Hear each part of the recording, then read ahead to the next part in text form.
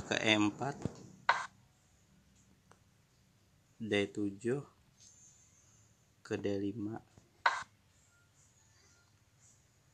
E4 memukul D5 menteri D8 memukul D5 kuda B1 ke C3 menteri D5 ke D8 D2 ke D4 kuda F1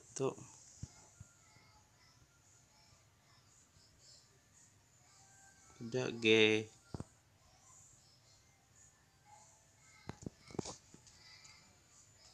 Kuda B8 ke C6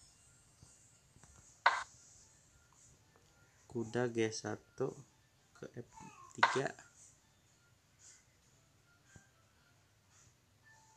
gajah C8 ke G4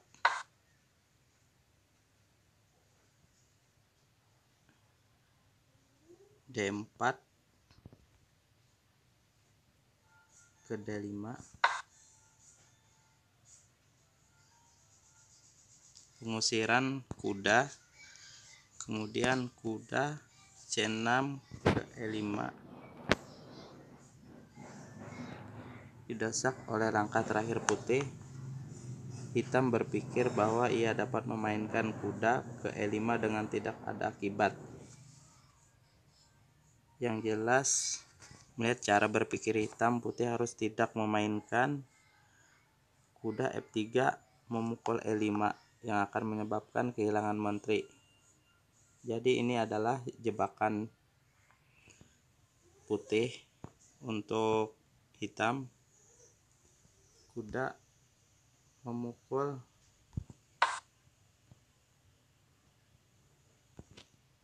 Jika hitam memukul menteri maka putih.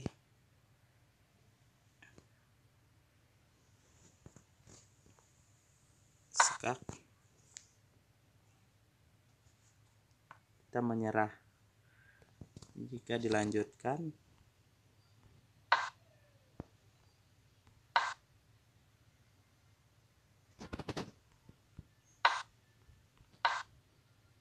tetap hitam akan kalah